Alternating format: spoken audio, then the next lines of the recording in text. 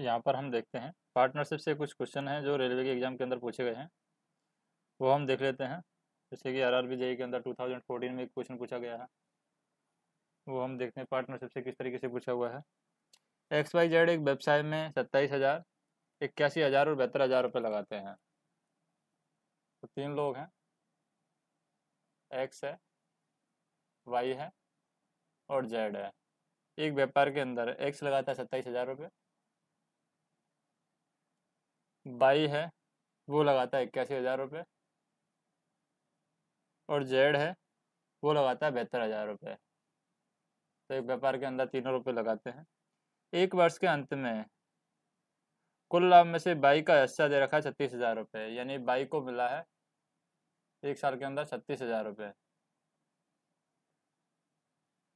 तो कुल लाभ निकालना है हमें। कुल लाभ क्या था?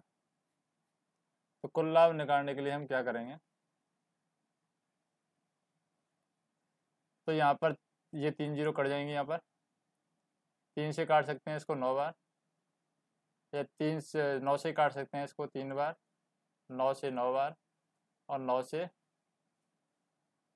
तीन बार। नौ से, नौ सात तिरसठ, नौ आठ बहत्तर, आठ बार। अब यहाँ पर हम देखें कि इसका हिस्सा दे रखा है। कुल लाभ हमें निकालना है।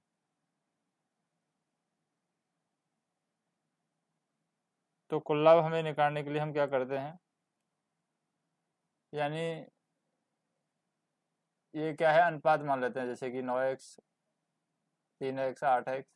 तो नौ एक्स की वैल्यू दे रखी है, यानी इसका हिस्सा दे रखा है। कितना दिया हुआ? छत्तीस हज़ार रुपये। तो एक्स की वैल्यू क्या आ जाएगी? चार हज़ार। और अब हमें सबका निकालना है। सबका निकालने के लिए हम क्या है? इन तीनों का योग देख लेते हैं, कितना है?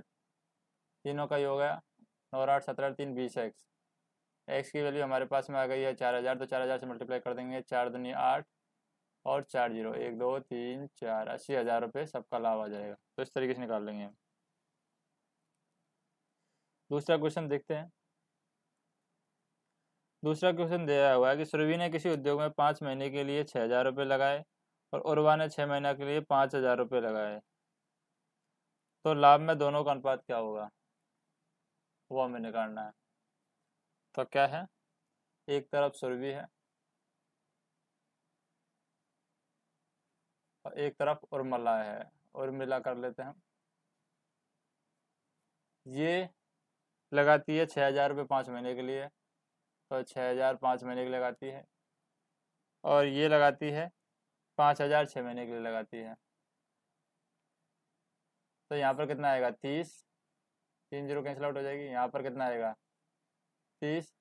तो दोनों के यहाँ पर पूछा है क्वेश्चन के अंदर कि दोनों के लाभ का अनुपात क्या होगा? तो लाभ का अनुपात क्या होगा? जब दोनों ने राशि समान अनुपात में लगाई है तो लाभ का अनुपात ही यहाँ पर एक अनुपात एक होगा, क्योंकि लाभ भी हमारा हमेशा समान ही मिलेगा।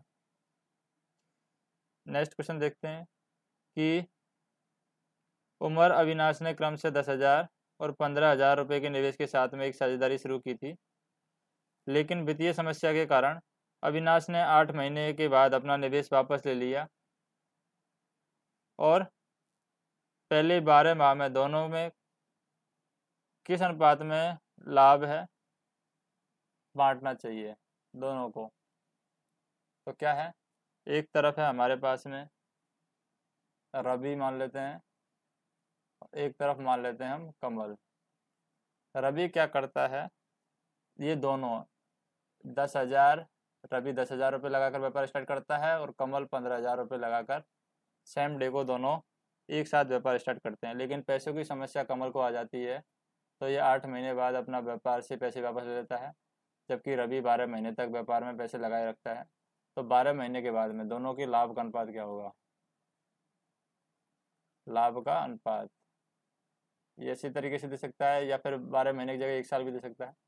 तो यहाँ से हम निकालें तो ये आ जाएगा एक सौ बीस ट्रिपल ज़ीरो यहाँ पर आ जाएगा पंद्रह इंटू एक सौ बीस ट्रिपल ज़ीरो तो देखें यहाँ पर दोनों का अनुपात सेम आने की वजह से। यहाँ पर लाभ का अनुपात दोनों का क्या आ जाएगा? सेम आ जाएगा, वन अनुपात वन। तो इस तरीके से हम इसको सॉल्व करेंगे। तो ये साझे के अंदर इस तरीके के क्वेश्चन पूछे जाते हैं।